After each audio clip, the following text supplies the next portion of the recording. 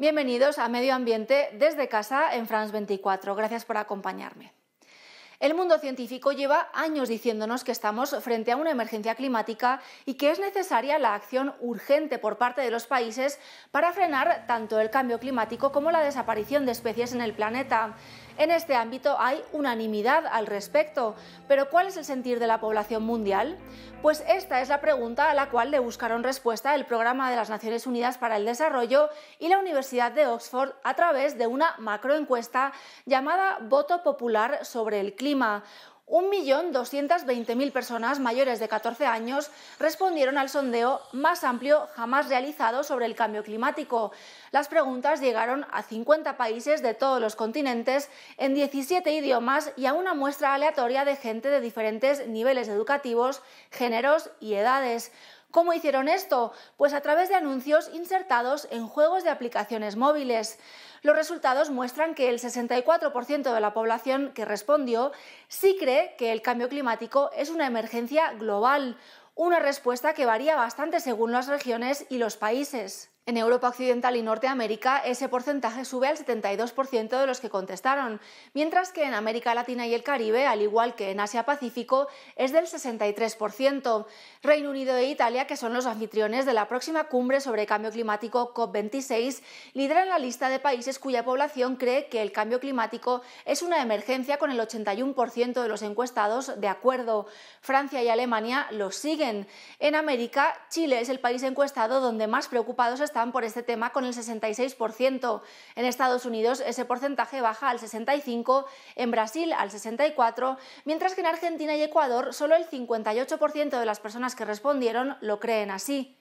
En la encuesta participaron 550.000 menores de entre 14 y 18 años, un segmento demográfico que suele ignorarse en los sondeos de opinión. El 70% de estos respondió que sí consideraba el cambio climático una emergencia.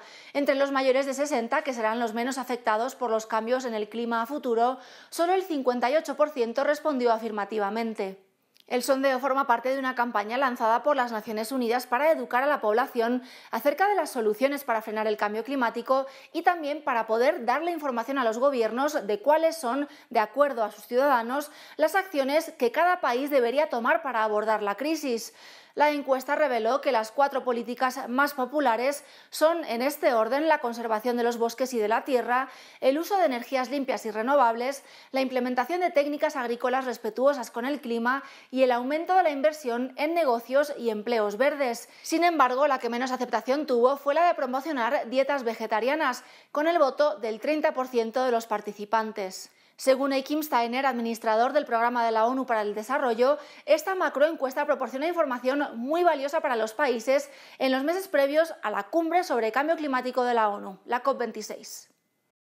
Independientemente de cuál sea el origen, los ciudadanos coinciden en que el cambio climático constituye una emergencia global. El voto popular por el clima ha mostrado también que las personas son conscientes de la escala de acción que se necesita, desde una agricultura respetuosa con el clima a la protección de la naturaleza y la inversión en una recuperación verde. El voto popular por el clima otorga a los países un mandato claro para adoptar medidas climáticas amplias con el apoyo de la opinión pública. Como decíamos, la solución para frenar o combatir el cambio climático que más apoyo recibió entre los que respondieron a esta macroencuesta de la ONU fue la conservación de los bosques y de la tierra. Y precisamente ese es el objetivo de Terramaz o Territorios Amazónicos, un proyecto financiado por la Agencia Francesa de Desarrollo para luchar contra la deforestación y también para implementar una transición hacia modelos de desarrollo sostenible en cinco territorios amazónicos de Brasil, Perú, Ecuador y Colombia. Terramaz, del que ya les habíamos hablado hace unos meses, se lanzó oficialmente a finales de enero en el departamento del Guaviare, en Colombia, al que viajó France 24 para hablar con algunos de sus protagonistas. Este proyecto tiene tres componentes muy importantes, que es el seguimiento, el monitoreo y el control que se realizará a 400 familias que fueron beneficiadas de una primera etapa que se llamaba Caminemos por Territorios Sostenibles.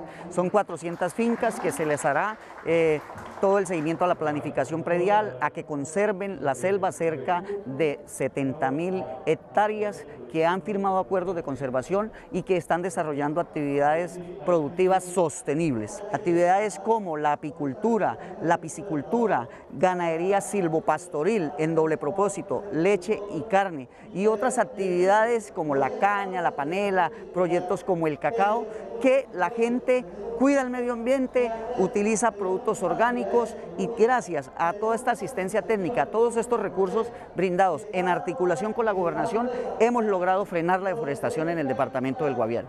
Eh, Francia está muy eh, comprometida en la lucha contra el cambio climático y también la protección de la biodiversidad tras eh, algunas iniciativas como el Acuerdo de París, la Alianza para la Protección de los Bosques Humedades también y es porque estamos aquí hoy, es para lanzar uh, proyectos concretos en el terreno. Uh, quiero decir que Terramas es el primer proyecto para nosotros en, el, uh, en, el, en Amazonia, el primer proyecto regional y esperamos que podría abrir otras puertas para futuras operaciones. La Agencia Francesa de Desarrollo invirtió 9 millones y medio de euros en el proyecto que se llevará a cabo durante al menos cuatro años. Es todo por esta semana. Sigan con France 24.